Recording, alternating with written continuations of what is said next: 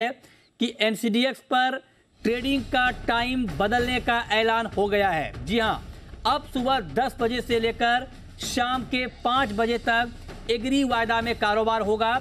Agree का सबसे बड़ा एक्सचेंज एनसीडीएक्स ने इसका ऐलान कर दिया है।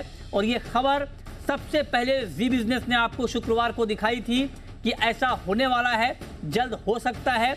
उस खबर पर अब मुहर लग गई है और इसमें दूसरा बड़ा अपडेट ये है कि जहाँ तक मुझे अब तक जानकारी मिल पा रही है कि 14 अगस्त से, जी हाँ 14 अगस्त से ये ट्रेडिंग में ट्रेडिंग टाइमिंग में बदलाव इंप्लीमेंट होगा, लागू होगा।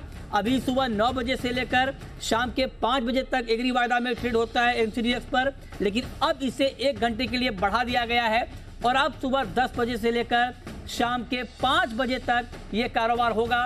और एग्री पार्टिसिपेंट्स की ये डिमांड पर ये किया गया है।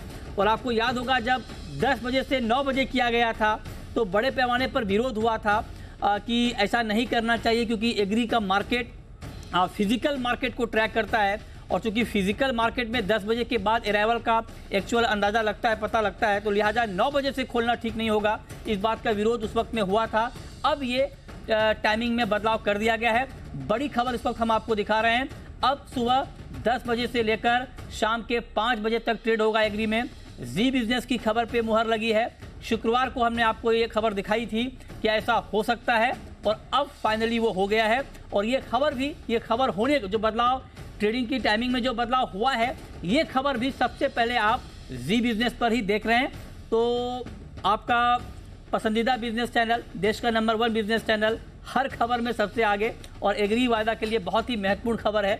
एक घंटे का आराम एग्री वायदा के कारोबारियों को मिला है। अब आप आराम से 10 बजे से आपका कारोबार शुरू होगा तो 9 बजे आपको पैनिक नहीं करना होगा।